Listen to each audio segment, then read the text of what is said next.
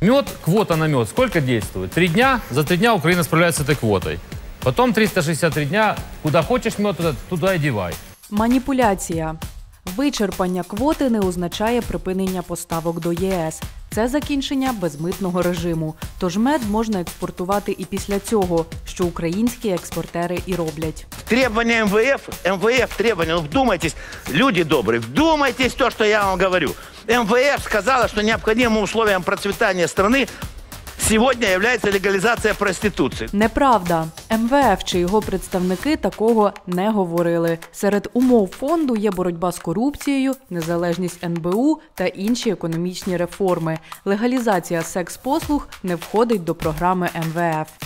Практично цією постановою у 2018 році відмінили виклик лікаря додому до пацієнта, якщо пацієнт з температурою, якщо у нього підозра на якісь серйозні захворювання, якщо людина просто можливо не може піти в цю лікарню і там сидіти.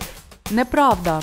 Ніхто не скасовував виклик лікаря додому. За необхідності лікаря можна викликати, але для зручності людей впровадили можливість консультацій телефоном. Для цього потрібно підписати декларацію сімейним лікарем.